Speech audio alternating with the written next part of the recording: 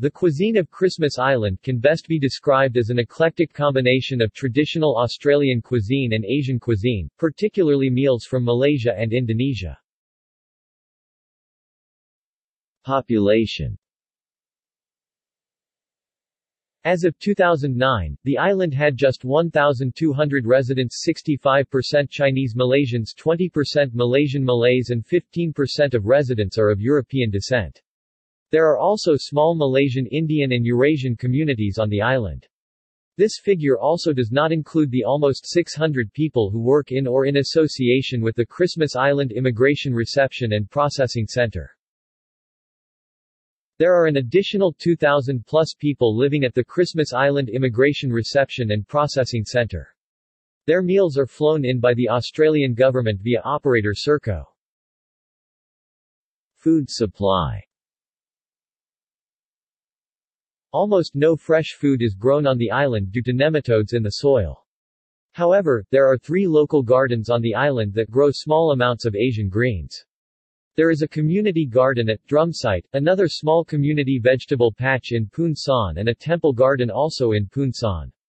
These community gardens are distinctive for their garden beds built up out of the soil, as the worms tend not to come up towards the heat and risk drying out, preserving the roots of the vegetables. Some of the Asian greens and vegetables grown include bok choy, choy sum, kangkong, Chinese mustard, eggplant and okra among others. Locals rely on government-contracted deliveries of fresh food from mainland Australia. As of November 2013 there is an additional air freight of vegetables that arrives from Malaysia via Indonesia each Friday night for purchase on Saturday morning.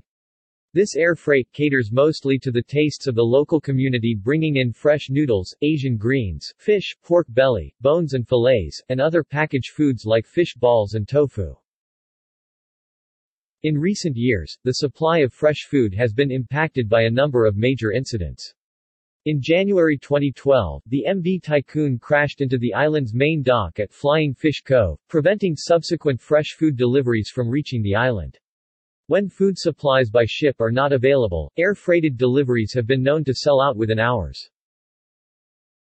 Wild food Due to the tropical nature of Christmas Island's weather, a wide variety of food grows wild on the island. Fruit trees are found dotted around the island and on private properties. Some of the things that can be found by foraging on Christmas Island include papaya, mango, coconut, pumpkin, chili, jackfruit, wild lime Bunga Kantan, also known as laksa flower or torch ginger flower, botanical name Etlingera elatior Mangkuang, a Chinese turnip also known as jicama. Tapioca Lemongrass Banana guavamani Other well-known tropical fruits such as rambutan, lychee and durian do not grow on Christmas Island as there is inadequate soil depth and not enough steady rainfall throughout the year. Meals As a result of supply issues, whole fresh produce can be difficult to acquire and so meals that make use of processed foods and canned foods are popular. Traditionally, chickens were kept on the island and locals produced their own pickled eggs and Chinese century eggs. Dishes that made use of the chickens themselves were popular along with dishes that included local coconut crabs. However, coconut crabs are now a protected species. Places to eat out